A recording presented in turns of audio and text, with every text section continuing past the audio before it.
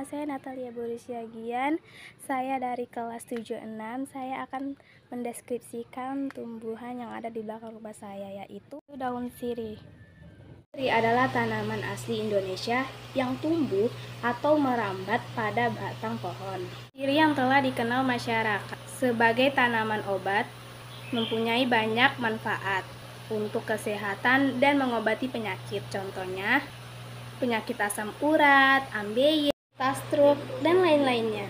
Ambeien, jantung, keputihan, masuk angin, mempelancar darah, mimisan, nyeri otot dan persendihan, serta stroke, dan lain-lainnya. Parsiri merupakan akar tunggang dan daunnya berbentuk jantung dan batangnya yang berwarna hijau kecoklatan. Selain daun sirih ini, ada juga daun sirih merah.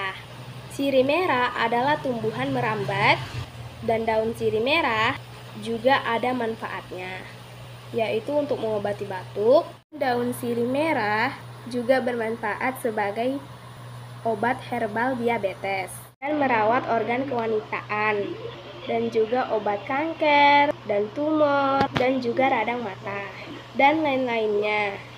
Sekian penjelasan saya tentang daun sirih ini dan daun sirih merah. Terima kasih.